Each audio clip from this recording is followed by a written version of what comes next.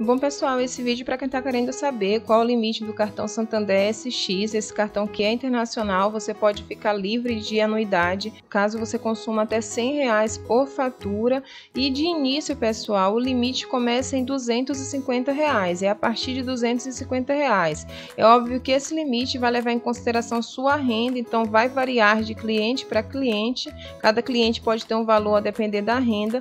Lembrando que para você solicitar o cartão SX do Santander, se você não é cliente do banco, você precisa ter uma renda de no mínimo de R$ 1.045. Caso você abra uma conta no Santander, esse limite diminui, tá? Você só precisa ter uma renda de 500 reais por mês e caso você solicite o cartão, sua, seu limite inicial seja de 250 reais, o banco já orienta, esse limite pode ser aumentado, tem chance de ser aumentado e para que ele seja aumentado, você precisa manter esses comportamentos em dia para que que você possa obter um aumento do limite. Então você deve pagar o valor total das suas faturas até a data do vencimento, você deve atingir o valor mínimo de compras por fatura do seu cartão e o mais importante, você deve manter seu CPF sem nenhuma restrição. Ou seja, você não pode ter seu nome negativado, tá? Para nem para pedir o cartão e nem depois, porque depois se você tiver seu nome negativado, você não vai conseguir ter um aumento do limite no cartão, tá? Você precisa regularizar isso primeiro. Então é isso aí, se você queria saber qual o limite do cartão Santander SX começa a partir de 250 reais. Isso significa que cada cliente vai ter